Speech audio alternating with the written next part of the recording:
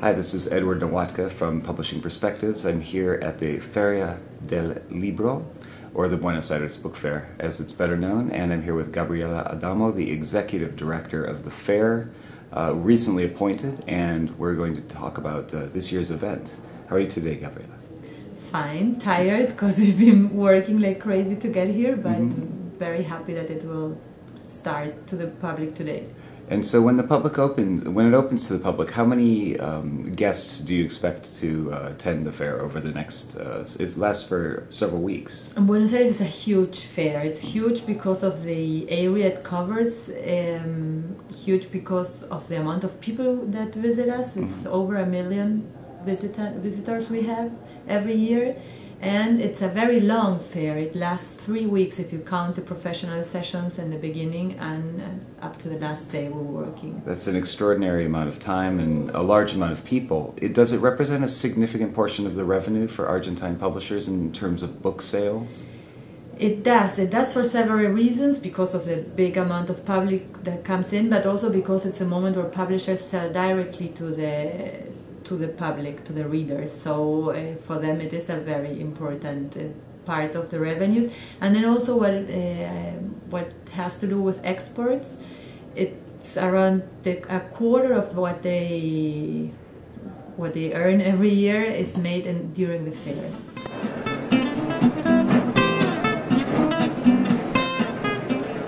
And as far as um, the interaction with the public goes, do you um, do you see the publishers competing with each other to get readers' attention? Because certainly there are a number of booksellers as well on the on the show floor, also competing to sell the same books. Yes, uh, of course there is competition. It constantly exists. Um, the fair is organized by a foundation that is made up by booksellers, by, by publishers, by authors, the different chambers that reunite these uh, persons. So they're all present here. They get together to get the mm, fair going, but then of course they compete once it opens.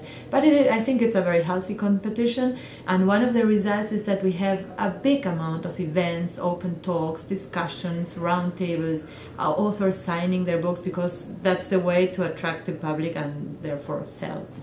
And what role does the fair play for the publishing community throughout Latin America and the Spanish speaking publishing community worldwide? It, it is a very important role. Um, the booksellers all over Latin America come to Buenos Aires to see what we are publishing and to buy what they need for their for their bookstores.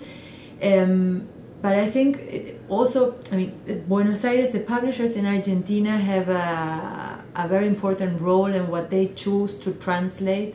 Uh, it's very important to know that books are not only translated in Spain, but they are translated here too. And the Argentinian publishers have a very good taste in, in, in, literary fiction and they have a big interest in everything that has to do with social sciences, essays, uh, political thinking, and so on all the books that maybe Spain doesn't like or that, these books don't fit into the Spanish catalogs, they do have a place here and booksellers and professors and readers, not only in Latin America but also in the United States for the Spanish speaking market, they hmm. know that we do have a very different list here than in Spain and come here to see what our publishers chose and take it to their readers.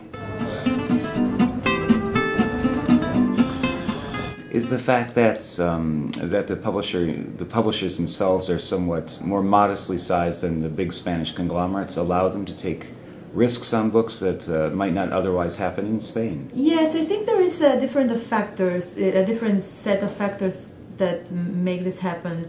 Um, of course, there is an economic factor in the fact that the big bestsellers can't be bought by the smaller houses in Latin America, so they are bought in Spain.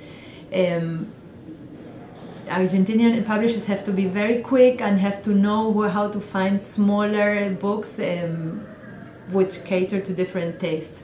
But then there's also a very big university here in Buenos Aires, the UBA, many private universities, a big uh, academic public, so to say.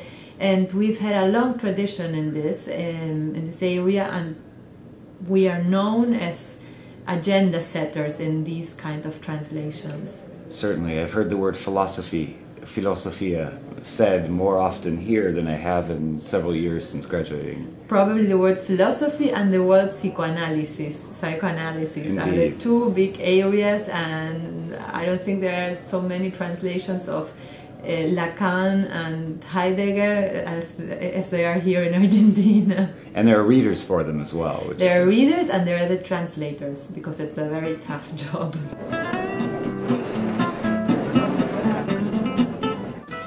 Um, how many exhibitors do you have this year, and how large is the fair?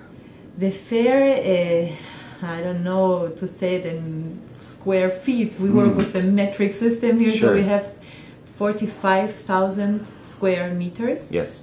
and around 1,500 exhibitors, Yes.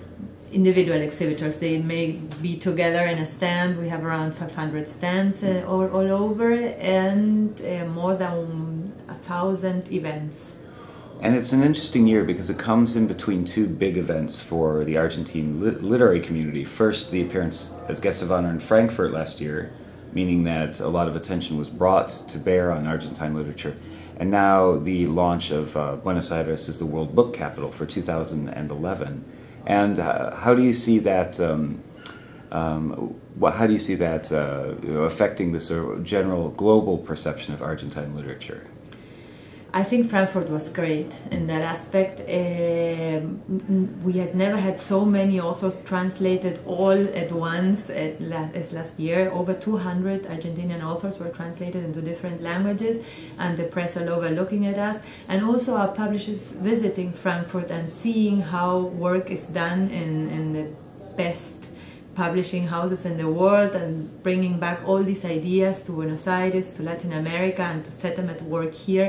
I think that is very, very important, and we'll see uh, lots of effects in that area.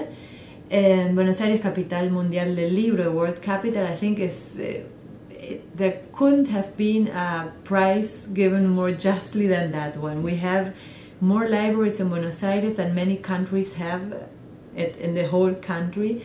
And these libraries can live together with this fair with over a million uh, visitors. So you can see that the book is very important for us. It's part of our daily life today. We have this long tradition as a literary country but it is still alive today here. Um, and, and you can see that in, in this nomination